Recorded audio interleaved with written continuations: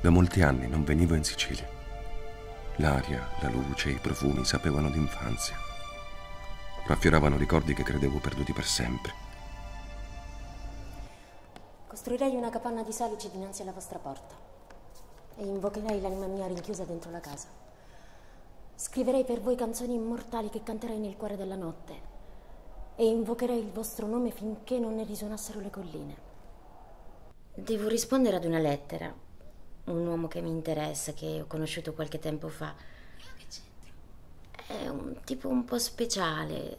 Nella sua lettera accenna qualche testo di teatro, è un appassionato di cinema. Insomma, sei tu l'esperto in materia, no? Allora ho pensato che magari potresti farmi da consulente.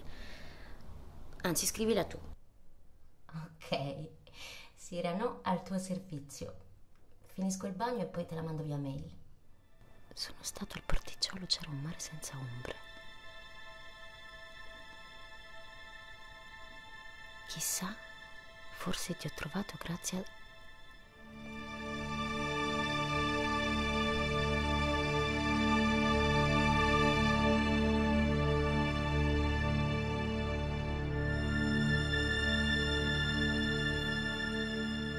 Che ne pensano le strade, le scale, i corridoi dove da molto tempo potevano incrociarsi? Li stupirebbe molto sapere che già da parecchio il caso stava giocando con loro. Io sono sempre con lei, so sempre dov'è lei. Lei sa fare quello che io non so fare e viceversa. Lei è sempre forte, sicura, decisa. Io invece no. Ma se lei muore, anch'io muoio.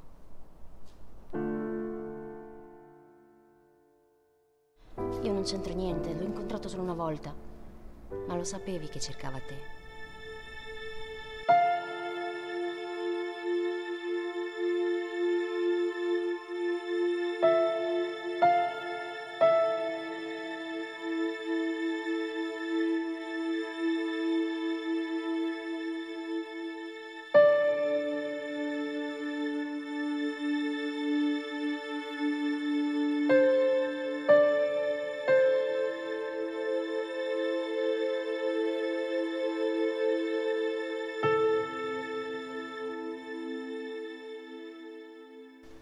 A volte ho come l'impressione che tu stai recitando una parte.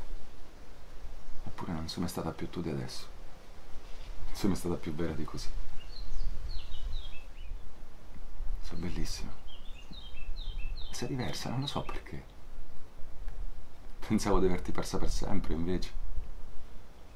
Ti ho ritrovato.